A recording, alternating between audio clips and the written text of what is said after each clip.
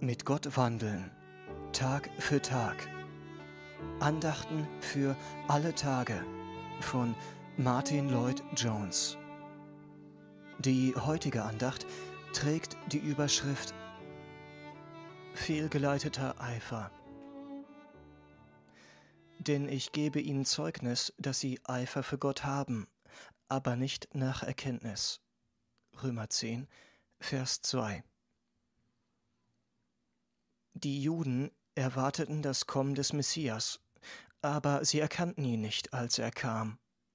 Sie, die von sich behaupten, unbedingt gerecht vor Gott sein zu wollen, lehnten den einen Weg ab, durch den die Menschheit vor Gott gerechtfertigt werden kann.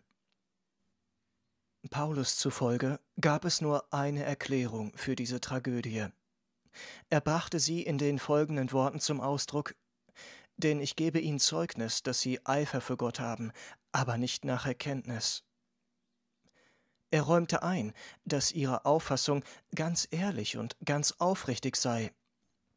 Das Problem bei den Juden war nicht, dass es ihnen an Aufrichtigkeit gemangelt hätte, sondern vielmehr, dass sie darauf vertrauten und eben, weil sie sich auf sie verließen es vernachlässigten, das größere Licht und die weitgehende Erkenntnis zu berücksichtigen, die das Evangelium ihnen gerade über den Gegenstand zu geben vermochte, den sie so sehr begehrten.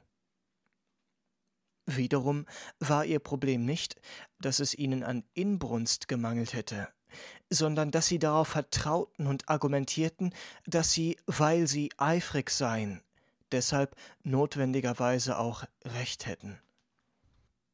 Denn ich gebe ihnen Zeugnis, dass sie Eifer für Gott haben, aber nicht nach Erkenntnis.